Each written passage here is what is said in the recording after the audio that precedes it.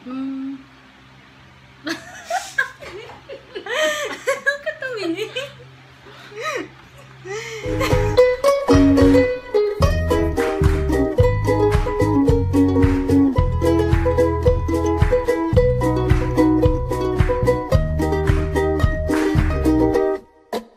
Hi guys, it's me, Sharina Garcia. Welcome to my YouTube channel. So for today's vlog, it's gonna be 20 facts about me.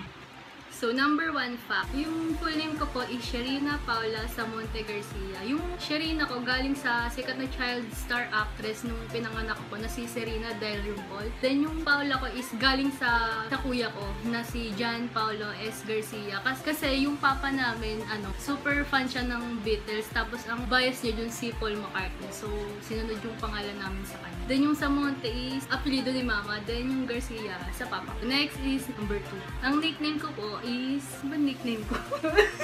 Ang tawag nila sa akin sa bahay, Ina. And yung mga friends ko tawag sa akin, She. She, ganun. Ate She. she.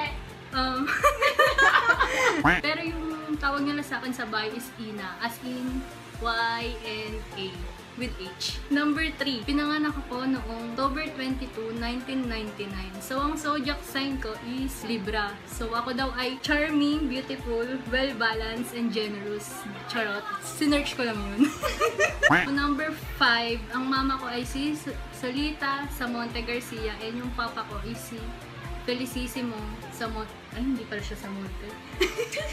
Ang papa ko ay si Felicissimo Bong Garcia. So, number 6, meron akong isang kapatid. Siya si John Paulo S. Garcia. 21 years old. Tsaka isa rin siyang vlogger. I-subscribe niyo na rin siya sa channel niya. Yung mga tawag niya sa fans niya. What's up mga ka-eme?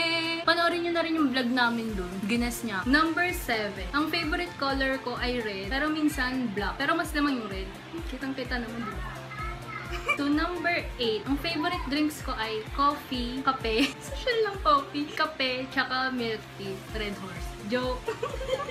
coffee lang. Parang kulang yung araw ko pag hindi ako nakakapagkape. So number 9, mahilig ako sa pizza, sa donut, sa shawarma, tsaka sa, sa fries. So number 10, ang favorite kong ulam is kare-kare, sinigang, tsaka adobo. And mahilig din ako sa Korean food, sa samgyeopsal, sa kimchi. Hindi, nagugutom ako. Dat pala mukbang na lang to, hindi 20 packs.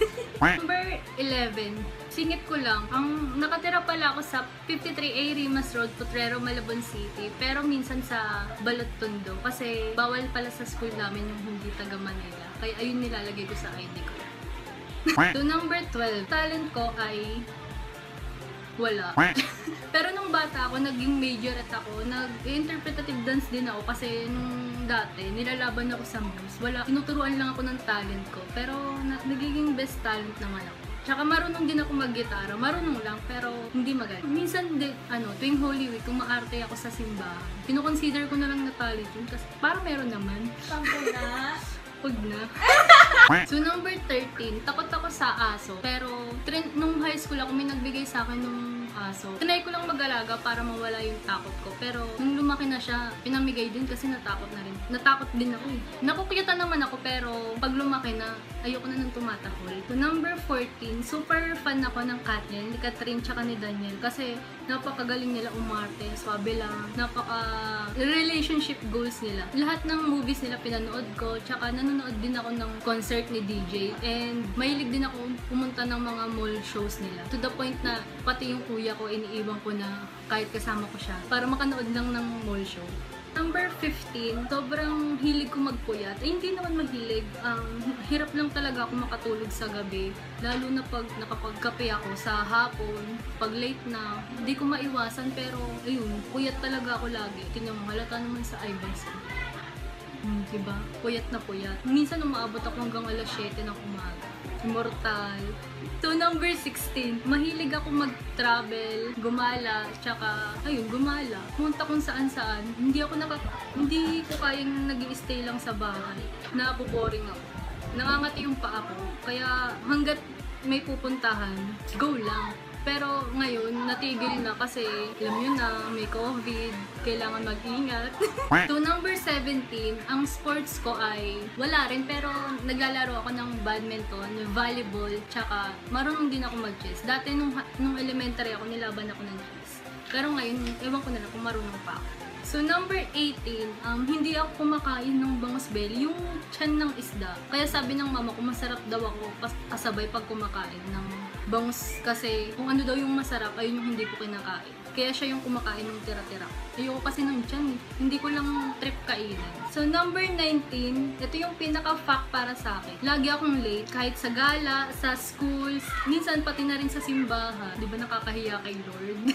Nagkakataon lang talaga na nalilate ako kasi hindi naman ako maba- mabagal kumilos. Nagkata nagkakataon lang. Big- biglang bumibilis yung oras. Pero konting late lang naman. And the last one, number 20 fact, third year college na pala ako sa Universidad de Manila. Number 20, ako ay nag-aaral sa Universidad de Manila sa course na Hotel, Restaurant, Services and Technology. Ako po ay third year college na. And sana next year, makagraduate na din para makapag-work na. So that's all for this vlog. Sana nag-enjoy kayo. And manood pa kayo ng susunod kong video kasi required may, may required kaming mag-upload every week. Mag-subscribe na kayo sa channel ko and i-like nyo na rin. Pwede nyo rin i-report, pero wag na.